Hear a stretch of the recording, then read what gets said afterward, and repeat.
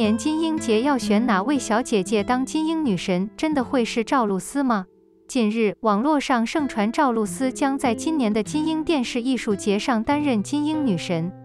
如果是这样的话，我觉得还不错。从颜值和身材来看，赵露思的颜值并不是很好。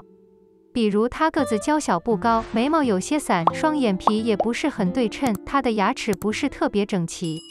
但她有突出的个人特点，他的一颦一笑、言谈举止都生动有趣。近年来，赵露思主演的电视剧受到了众多观众的喜爱。自从看了他主演的《皇上陛下》，就被他突出的个人特点所吸引。后来在传闻中的陈芊芊这部剧中，她的表演进一步体现了她独特的演技。虽然由她和郑业成主演的三千压杀剧情设计有些突兀、语无伦次，但两人的表现还是带来了一些惊喜。不仅因为两人的形象和气质都很吸引人，两人的表现也很不错。栩栩如生，把人物演绎的淋漓尽致。之后，他又出演了《长歌行》《我们来试试世界》《星光灿烂》《胡同》等话剧，能够与杨洋、吴磊等大牌男明星合作，让她逐渐从小角色变成了大女主，方向改变。由此可以看出，她的发展转型之路还是比较顺利的。像她这样的年轻女演员，才二十四岁，又不是专业出身，能取得现在的成绩，确实很不错。这得益于她自身的努力提升，也与她出色的观众关系息息相关。所以，让我们拭目以待，下个月举办的金鹰电视艺术节将为大家揭晓新的金鹰女神。且是天下作者否认抄袭，未正式观看电视剧，对原著表示遗憾。说起这段时间最火的电视剧，很多网友都会提到《且试天下》这个名字。这部由杨洋和赵露思主演的电视剧，自开播以来就非常火爆。原本该剧播出的非常有秩序，但让网友无语的是，剧情开始进入了不错的状态，但在电视剧之外却发生了很多事情。首先备受关注的可能是电视剧中对动物的残忍。搭档回答说马没问题。经过专业培训，为确保动物的安全做好了充分的准备。只是观众从后续的视频中觉得这种说服力还不够，感觉后续片方和合作方都不会做出任何回应。毕竟这件事可以算是过去了，一波又一波，这里的虐马事件已经走到了不稳定的尾声，热闹的观众似乎也散去了一点。然而，让粉丝和观众无语的事情发生了。电视剧《试探世界》被质疑抄袭另一部剧，直接将原著作者推上风口浪尖。近日，让网友们郁闷的是，小说《让我们试试世界》的作者青灵月突然站出来表示，他的小说并没有抄袭，对原作有些遗憾，缺少一些诗意。看到这里，很多网友和我一样，都是一头雾水。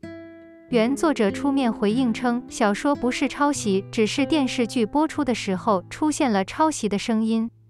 到底是怎么回事？其实中间的乌龙真的不止一点点。首先，网友们质疑的对象其实是电视剧《是一世世界》，而不是小说《是一世世界》。这里有个热知识，不知道我记错了没有？就是小说卖给电影人的，其实作者参与制作的可能性并不大，完全取决于编剧。而且原作者的口述，这里的电视剧内容似乎与他无关。从书迷的反感来看，《且试天下》这本小说并没有抄袭，而清冷月也是一场灾难，所以才出来为自己说话。其次，电视剧《且试天下》有抄袭吗？看过和居华庭的朋友都知道，两部剧的男主和一些情节确实是高度相似的。不仅情节有些相似，而且在情节方面也有一致的情节。状态让人不得不怀疑是不是节目有问题。不过，至于抄袭还是不抄袭，这里并没有明确的答案。但从大部分观众的评论来看，大部分网友还是认同抄袭的。看到这里，我有几个很简单的疑问。首先，和居华庭和且试天下都是非常大的 IP 作品，有这样一个简单的碰撞线和类似情节的现象。人们有些惊讶，我觉得这样的错误出现在小规模的电视剧中，出现在两部大剧中，真的很奇怪。二，这部剧有什么神奇的变化吗？其实看过小说的人都知道，这部剧的视角主要是女性视角，是一部完整的女主剧。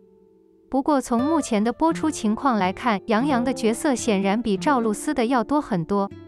而且小说中提到的很多情节在电视剧中都没有得到很好的诠释，感觉电视剧版的《让我们试试世界》只是用了小说的名字和人物，其他方面变化很大，不知道是什么电视剧版本你更喜欢一点，或者小说更喜欢一点。三，且试天下和和居华亭算抄袭吗？